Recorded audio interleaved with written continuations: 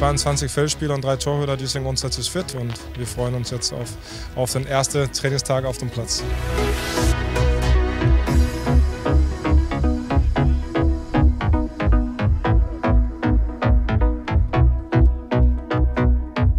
Am Endeffekt hoffe ich, dass die Fans sich äh, darüber freuen können über eine Mannschaft. Also das wird der Schlüssel sein dieses Jahr. Wir müssen dieses Talent, was wir haben, müssen wir umformen können in eine Mannschaft. Am Endeffekt kann äh, Talent äh, viele Spiele gewinnen, aber Mannschaften äh, gewinnen im Zweifelsfall Titel. Und ähm, das haben die letzten Jahre auch gezeigt bei uns in der 19.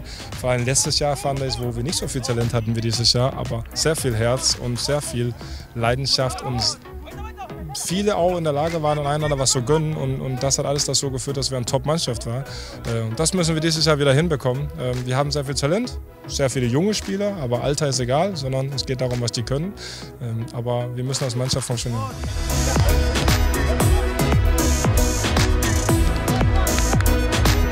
Habe heute auch die Jungs gesagt, also es ist Entwicklung im Jugendbereich, aber Entwicklung in den 19-Bereich geht Hand in Hand mit Ergebnis und Erfolg. Das fängt schon beim ersten Testspiel an. Ich bin keine Trainer, der sagt in der Vorbereitung, dass die Testergebnisse egal sind, sondern ich glaube daran, dass wenn man was formen will, wenn man Erfolg haben will, dann äh, ist es auch im Training wichtig, dass es was bedeutet, wenn man spielt, dass es darum geht zu gewinnen.